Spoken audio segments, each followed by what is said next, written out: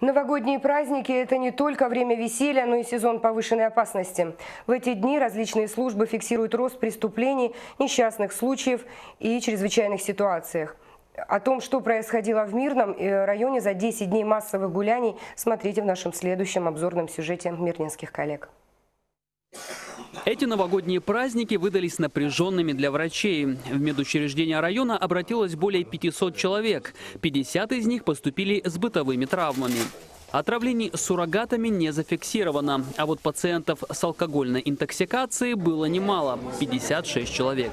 Что касается ситуации по вирусным заболеваниям, то она остается на безопасном уровне. На сегодня зарегистрировано более 100 заболевших ОРВИ. Тяжелых случаев не отмечено. Многие обращались в приемный покой. Это 335 человек. За два дня приемов 3 и 6 января во взрослой и детской поликлиниках принято 448 человек. Также зафиксировано три смерти и один случай обморожения. У нас, слава богу, в этом году э, э достаточно тепло было, и 17 градусов, и 25 было. Поэтому у нас всего лишь один случай обморожения. Мужчина э, в нетрезвом состоянии, кисти рук, слава богу, второй степени. Для полицейских района праздники прошли на редкость спокойно. В основном звонки поступали от соседей, что мешали спать. Но без происшествий все же не обошлось. На пульт дежурного поступил сигнал об особо тяжком преступлении в результате семейной ссоры. Новогодние праздники в районе не обошлись без пожаров. Красный петух ворвался в дома, увлеченных застольем мирнинцев. Причины давно уже стали стандартными. Короткое замыкание из-за неисправного электрооборудования и неосторожное обращение с огнем. В поселке Орлах обошлось без жертв, но в Мирном избежать гибели людей не удалось. 1 января произошел первый пожар а, в городе Мирном по адресу улицы Лесная. А, пожар частного дома – площадь пожара составила 56 квадратных метров.